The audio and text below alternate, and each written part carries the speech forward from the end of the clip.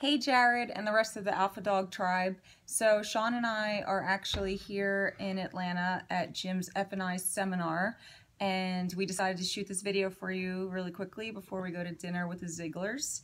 Uh, so to answer your question, Sean and I are going to both kind of jump in here. Okay, so the question was, Karen?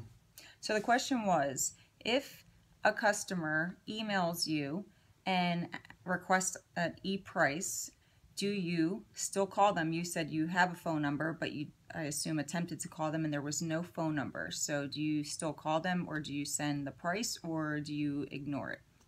Okay, so um, can I jump in? Absolutely. All right, so th this is a disclaimer.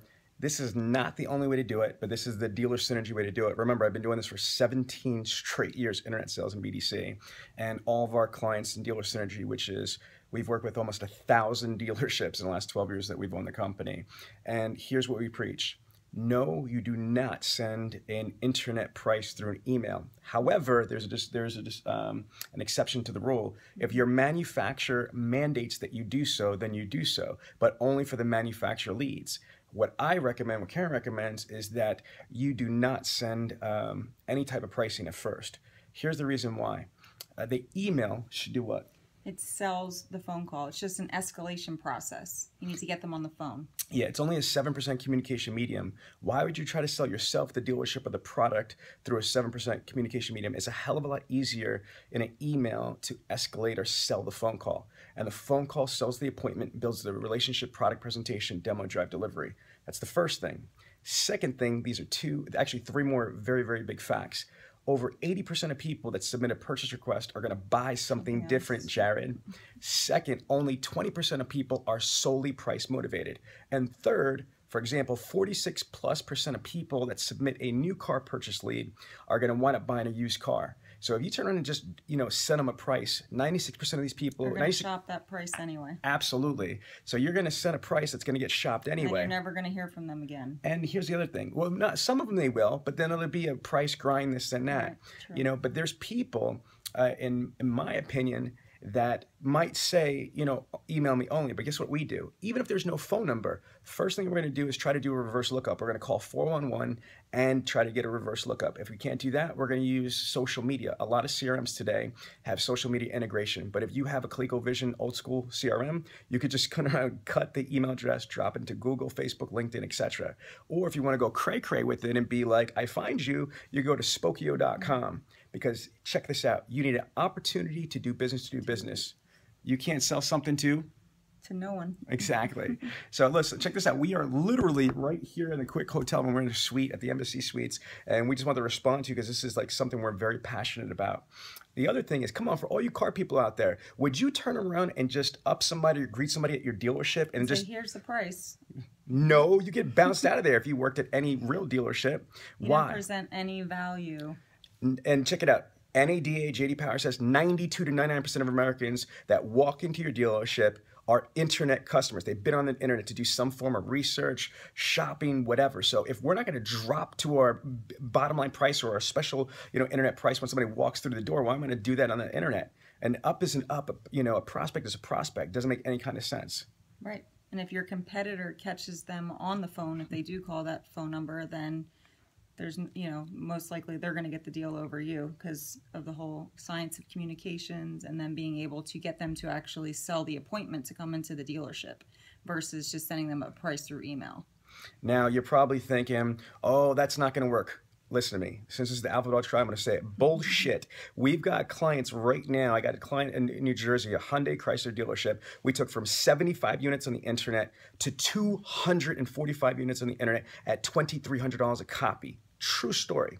Okay. Again, just look, we got 22 different covers of every magazine. We do this over and over again. Now, like I'm saying to you before, is this the only way to do it? No, this is just our way. You you asked the Bradleys to turn on and comment in, and I Karen was going to turn on type. I was like, oh hell no. Mm-hmm. What you need to be able to do is make sure that we do this quick video because people are going to be like flagging this. So again, this is not the only way to do this, but look, The average closing ratio is about 10 to 12% on the internet. And again, you might think somebody might say that's more than that. BS. Listen to me. If you have 2,000 leads, I want to see somebody doing like higher than that realistically, including the residual flow factor. This dealership I just mentioned in North Jersey, they get about 1,100 to 1,400 fresh leads, and they get about another 1,000 to you know 1,400 carryover leads through the residual flow factor. So yes, they're getting between 10 and 12% of total opportunity, which is ridiculous. So their ROI into death and their grossing. Because here's the thing on the showroom floor, the rules of engagement are what? You know, obviously to do a road to the sale. What's the purpose of the road to the sale? To build value, to mm-hmm. build value, to build value. And that's the purpose of the telephone call. 100%. Again, anybody could go through the old school, you know, word tracks. Have you driven a car yet? No, come on down. Or the, the big sales, some stupid stuff mm-hmm. like that. Our goal is to identify, meet, and exceed. Identify the prospect's wants, wishes, expectations, not just the vehicle. The seven main reasons why people are going online are price, availability, convenience, I hate car salesman, research, trading, credit. Fact. After you met those expectations, you need to turn around and make sure that you got the root, not just the surface objection or expectation. After you've done that, you need to identify wants, wishes, and expectations by, mm, by also. Asking the, the harder questions. Let me let me go back for a second. Let's just say, for example, somebody says price. If you turn around and uh, kind of give them a bottom line price, then what? You don't know if there's other things there. It's like when you up somebody and they just say, "I'm just looking," right? They're they're programmed to say that. They're scripted to say that. They're conditioned. Hell, when I go to Best Buy and they approach me, ah, I'm just looking. And then, like an idiot, two seconds later, I'm like, uh, can you help me find the, the, where the Nintendo games are, or whatever, for the Wii U? So my point being is that so you you get the surface issue, right? Then what? Then what happens? You get what I'm saying? So most people do not turn and find what the root issue really is. They just get the the simple, you know, reflective response and that's not good. Once you find and identify the real want, wish, expectations, then you need to meet it and then you exceed it by presenting what's different and better about your organization. What is your dealership's value package proposition? I'm telling you, that's how you're gonna turn on and build value. Just like on the showroom floor, you do a product presentation and you do a demo drive, right? To build value to max gross and max conversions. Well, on the phones, what you need to do to max appointment shows, see, my people don't set appointments. My people don't ask for the appointments. My clients Sell appointments. Sell appointments. We sell the appointment. How do you do that? Because we provide a tremendous amount of value that we exceed their expectations. And so they have to, they want to come in because they feel that coming in is the most important thing because of all the incredible things they're going to get, the amazing deal and experience. The other thing, remember what I said in the beginning about all the details? Think about it why are you going to go and engage in Mortal Kombat and give prices or availabilities on vehicles they might not qualify for, they might not want, that are not available, etc.? It's that's not the rules of engagement. Engage, escalate. Email sells the phone call. Phone call sells the appointment. The appointment builds a relationship. Product presentation, demo drive, delivery. I'm out.